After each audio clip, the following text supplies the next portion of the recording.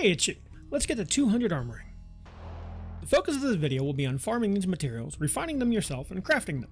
That said, everything here I'm going to tell you can be farmed, or can be bought in the auction house. There are some requirements moving forward. You will need a tier 5 loom and a tier 5 outfitting station somewhere on your server. And, as even the fresh start servers have these now, you shouldn't have much of an issue here. Your refining skill will need to be 150 or higher. Refining all the way to infused silk should happen naturally during this process. If not, my favorite little hack for leveling refining is just to grind out the highest level material you can, use some solvent to downgrade that material, and then grind it out again.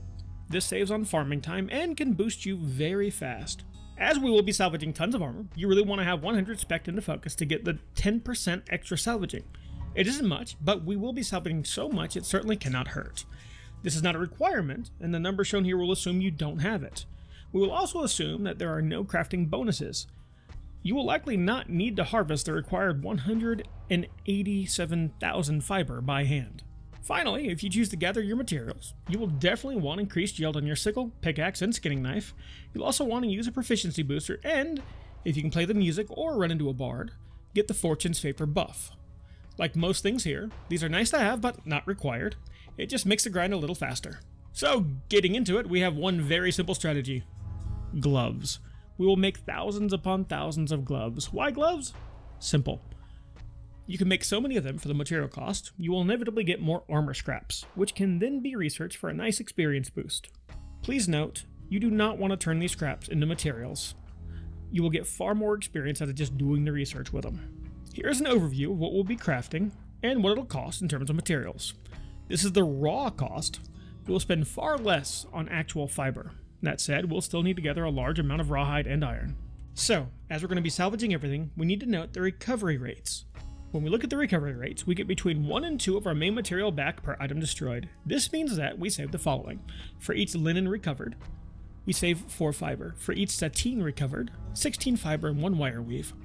For each recovered silk, we save 32 fiber, 6 silk threads, and 2 wire weave. For each infused silk, we save 64 fiber, 8 wire fiber, and 3 wire weave.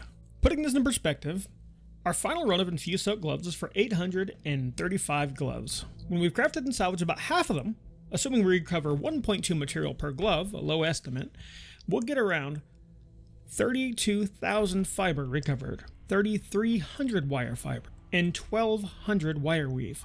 This is not insignificant. We're going to do this in segments to both break it up and give us measurable progress and to ensure that we are not over farming or overbuying. So we will be gathering iron ore, rawhide, fiber, silk threads, wire fiber, and wire weave. The following runs will be repeated many times. Get comfortable with them. Feel free to grab more than you need while there, because you will inevitably need them for the next run.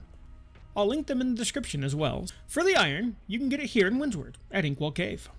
For the fiber, you can get it here, again in Windsward, near Iron Rose Shrine. Silk threads are from the east of Brightwood, and wire fiber is from the west of Brightwood. Both of these routes originate at Brightwatch. Wire weave can be gotten from any supply chest run. I suggest this chest run here as it's a full loop. Finally, for the rawhide, you can get it passively at Inkwell, or you can get it here at First Light. The full video runs for these is in the description. I'll also link a god tier run from 5 Head Gaming for Rawhide that, while efficient, is way too intense for me. To start, we're going to craft about 115 linen hair wraps to go from 0 to 50. There are so few required here that we're going to do them all in one gathering run. Further runs will be broken into segments to make them a little easier to manage. We'll need about 1,900 rawhide, 2,000 fiber, and 500 iron ore. Gather the materials using the routes listed or the auction house, your choice. Head to the refining station and refine each of them smelter for iron ingots, tannery for coarse leather, and loom for linen. Then head to the outfitting station and make the 115 linen hand wraps and then salvage them all. You're going to use the scrap material and make any more that you possibly can, and then salvage them again and repeat until the material is gone. Any scraps should be turned into research notes, not materials. And when we're finally done, we should have a few leftover materials that will roll over into our next run. Please note when I say scraps, I'll show you what I mean here. These are armoring scraps. These are what you can convert into a material box or into research notes. The research notes are very, very valuable. Always focus on those while you're leveling. Next, we'll go from 50 to 100 with sateen gloves. We need about 350 of these, so I recommend we do this 100 gloves at a time until we reach level 100. This will let us do our research in between runs and break them up a bit. Per 100 run, we need to gather in a specific way. We only need, for instance, 400 iron ore, but we're going to gather 600 or more. We do this because when we salvage, we'll get 25 to 50% of our fiber cost back.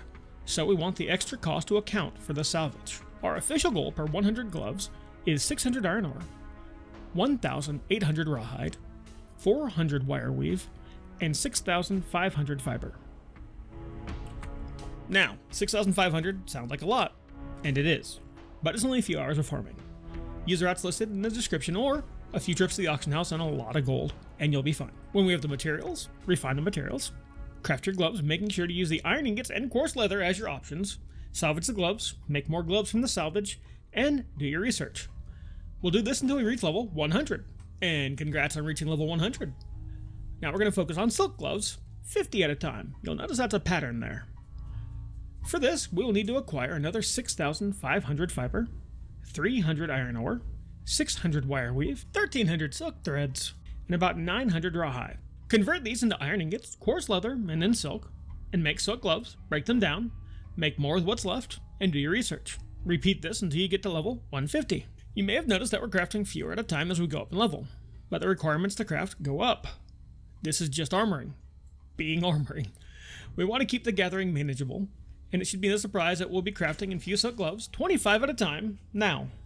This is the end game. Each set of 25 infused gloves will require you to acquire about 6,500 fiber, 1,300 silk threads, 1,000 wire fiber, 800 wire weave, 200 iron ore, and 600 rawhide.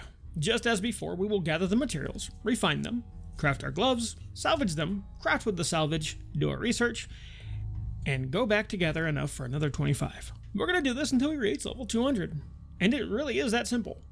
And for those asking about the one-time craft bonuses, I tried this on another character and saw no discernible difference overall versus the bulk crafting, except my hand tiring out over repeatedly selecting the materials for each craft and getting less materials back from the lesser crafts.